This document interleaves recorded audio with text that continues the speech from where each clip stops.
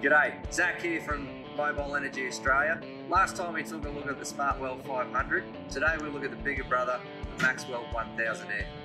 This impressive unit has 75 kVA at 50 Hz with a maximum welding capacity of 1000 amps with 65 CFM at 150 PSI. This big rig doubles your on-site productivity by giving you the capabilities to run two 500 amp arc air gouges with 8 kVA left over. As per the Smartweld 500, you can see we've still got the aftercooler and water separator there. This one has the same mine site compliance and certification as the Smartweld 500, so that way you don't have to compromise on any safety.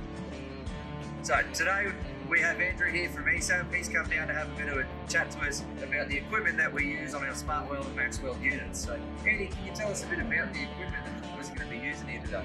Yeah, g'day Zach. We're going to be using the Warrior 500is today.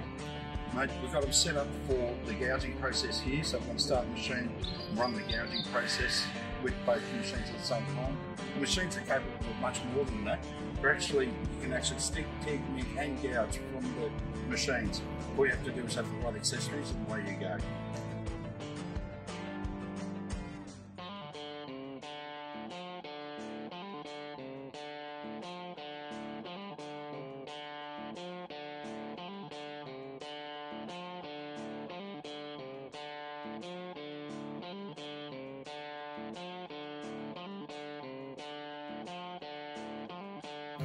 If you want to know more, give us a call or jump online at MEA and uh, we'll be happy to help.